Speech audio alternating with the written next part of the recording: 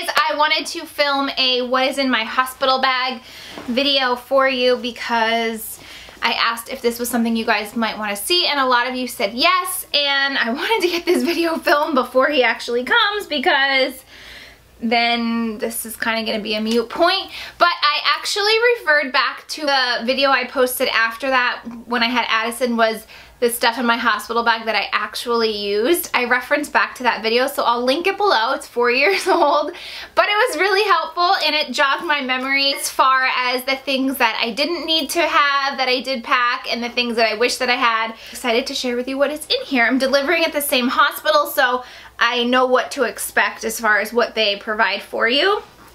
Every hospital is different. I'm provided a lot more than I was expecting, like uh, the diapers, the wipes, the underwear, a lot of onesies, swaddles, and things like that. Even like the nipple ointment cream, I remember they have like their own little concoction, which I ended up using more than the, the one that I had packed in my hospital bag. So slight changes. I'm excited to show you. This time around I packed a, a, little bit of a smaller bag than last time. This is my Stella Dot Weekender bag and I don't even have it expanded. I actually might expand it though because I also have my makeup toiletry bag here that I can't really fit because this is to the max. But this is the bag that I'm taking. If I unzip this, I probably should unzip it and expand it so I can actually fit everything that I want to fit in here. Oh, this is actually how big the bag is and what it looks like and it just came back into stock. It was sold out forever. So let's dive in to see what I got in here. First thing that I have right on top is this little Bla Bla doll. This is actually what Addison picked out for her little brother to give him as a gift. I got a gift from him to give to her and she picked this out because she has the girl version, the little fox. Love these Bla Bla dolls because they're super soft and just like little knit sweaters that are stuffed. So she's gonna give this to him when he's born. So that is in here. I also purchased this little cute little uh, bear beanie from Little Fox Shop on Etsy. It's definitely like a wintry beanie, but just thought it was adorable, really cute for pictures. And honestly, when they're that little, you just want to keep their heads covered and warm. So I probably will end up using this. And when I got it, I thought maybe this is gonna be a little bit too thick, but this little head warm. One thing I don't have in the bag, just on the outside, is my Boppy pillow. I have it stripped down and I have the cover in here. But this I took with me the last time and I loved it just to help me nurse and hold him. It was really helpful, so I am bringing that again. I am bringing two cardigans these were something something that I really enjoyed having in the hospital. This I actually just purchased from Nordstrom. One of my Snapchat friends sent me a link to this in the blush pink and I actually needed a black cardigan so I purchased this one which I know I'm going to get a ton of use out of. It's a really cute like bow belled sleeve, really long cardigan. It comes in a bunch of different colors from Nordstrom but I got it in the black. It had a really good price point um, I needed a new black cardigan. So anyway, I really enjoyed having cardigans in the hospital because we always had visitors and I was either in my nursing bra or in like a nursing tank and it was just nice to have the cardigan to cover up and also keep me warm because I'm always cold. Just an old cardigan that I got from the DKNY outlet just a gray cardigan. You guys know me, I don't do a lot of color. And then I just have a couple swaddles, a white, this is an Aden and Anais, it's just solid white. And this is one from Modern Burlap. Um, I'm just bringing my own swaddles just to either swaddle him or cover him in the car seat when we come home. This is just a little nightgown, nighty, another really soft, cozy, comfortable knit that I could sleep in, nurse in, hang out in the hospital in. By the Baby Be Mine brand that sells like the pillowcases and the delivery gowns and stuff and I just got it in black and white. So packed two maxi dresses. I did the same thing last time and again because we had visitors in constantly these were really comfortable. I also remember the not so fun side of postpartum was when they would come in to check you and like push on your stomach after you deliver. Bottom line, you need to have easy access for the doctors to check you and the nurses to help you out. So having the maxi dresses and the nightgowns are really nice and convenient. Picked up a robe. This one is from Shop Pink Blush Maternity. I just love the colors. It's black and blue. Again, just to cover up if we have guests or to keep me warm. It was something that I packed last time and I pretty much had my robe or a cardigan on the whole time. Packed one nursing bra.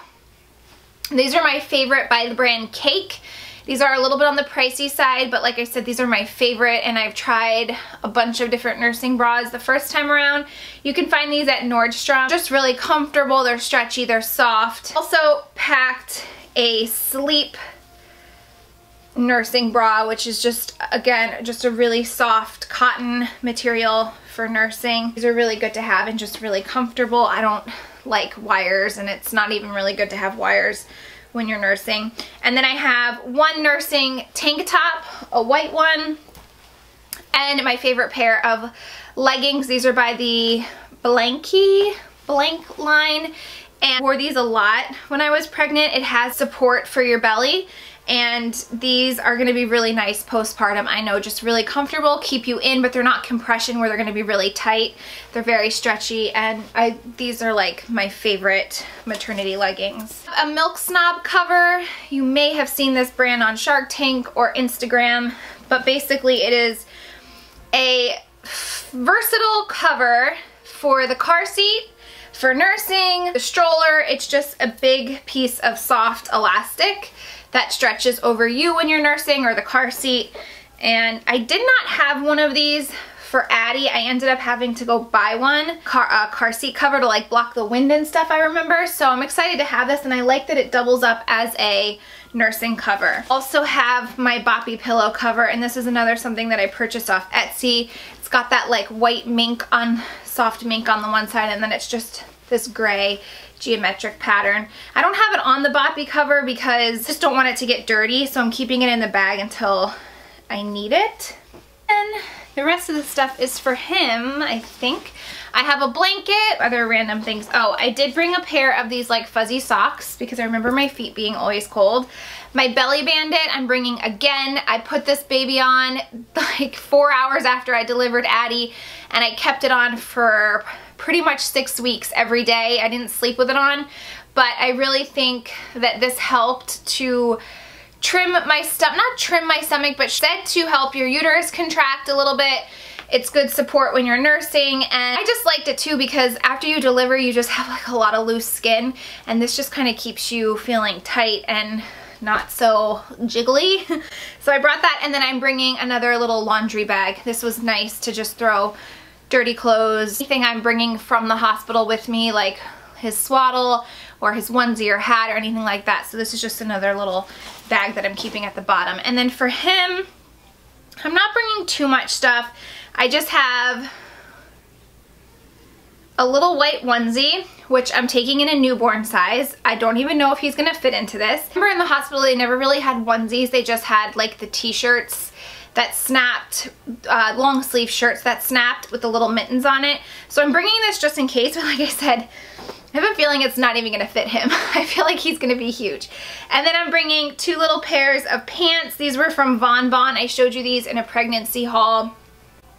Just little knit pants, two little knit hats that kind of match a black and white stripe and a blue and white stripe. They're really special to me. They're little duck pants, like they're little yellow pants with ducks on the feet. And I had these in the hospital with Addison. Obviously we didn't know Addison was a girl, so I just took like neutral stuff, but I have a picture of her in the hospital wearing these and a onesie, so I wanted to like kind of do the same thing with him, but again, I don't even know if these are gonna fit him.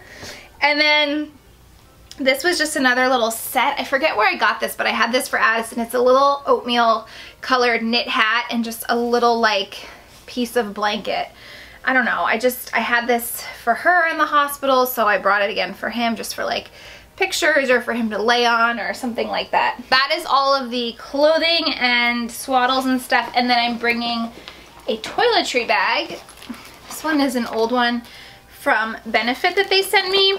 In here, I just, I'm bringing two little white washcloths to clean my face, take makeup off, shower with, whatever. This is my little toiletry case. When you deliver and you just feel gross and you have visitors coming and you just want to feel put together, to me, that's why I'm bringing some makeup. Like even recently I have just felt so tired and just miserable and uncomfortable and I just find that when I put makeup on my face it just instantly is a mood booster. So that's why I bring makeup. A lot of people might think I am crazy but it's the little things and if this is something little that I can do to make myself feel a little bit more put together that's where it comes into play. So in here I have both skincare and some makeup.